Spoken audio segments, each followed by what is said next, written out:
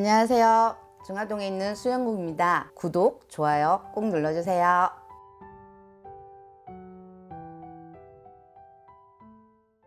재산을 왜 지내냐? 자손이 기본적으로 조상님 전에 진지를 올리는 거잖아요. 근데 요즘에는 안 지내시는 분들이 대부분이 많아요. 절에 모신다던가 뭐 이렇게 해서 그래서 백종이라는 행사가 더 커지긴 했지만 제사를 지내서 자손이 덕을 보냐 안 보냐를 물어보신다면 저는 100% 본다예요. 저희도 신령립전에서 이렇게 일하고 본다 안 본다 말을 하지만 절대 조상님들은 자손한테 그렇게 소홀하게 안 해주세요. 대우를 해주면.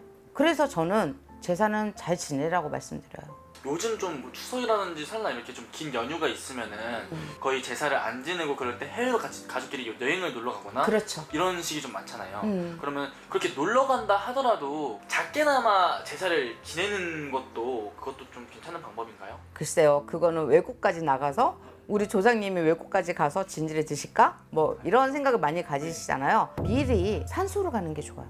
만약에 낙고를 하셨다면 낙고당 가셔서 인사를 드리는 게 좋아요. 미리 가셔서 하셔도 돼요.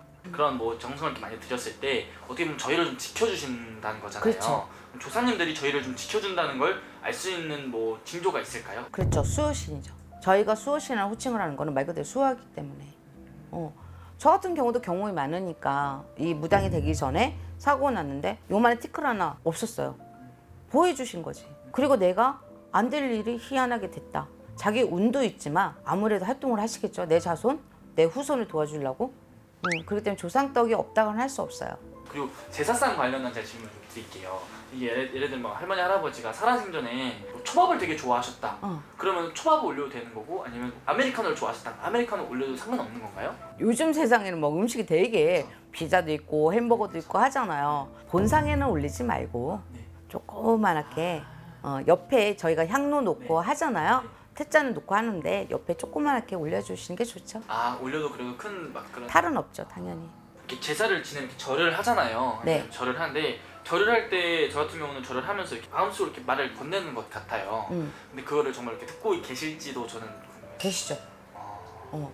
저희가 이제 어찌됐든 조상님 숭배하는 직업이잖아요. 네. 그래서 뭐 이렇게 말씀드린지 모르겠지만 분명히 듣고 계세요.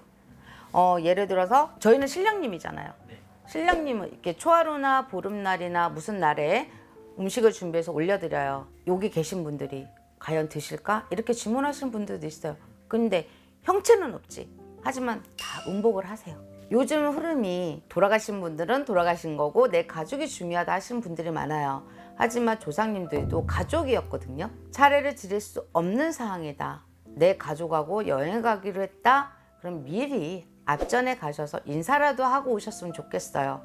문화는 문화지만 조상 없는 자손은 없지 않아요? 그죠? 조상은 분명히 있기 때문에 저 자신도 있는 거니까 조상님들을 서운하게 안 해주셨으면 좋겠고 본인들이 소원한 바가 있으면 한 번쯤은 조상님한테 빌어보는 것도 좋습니다.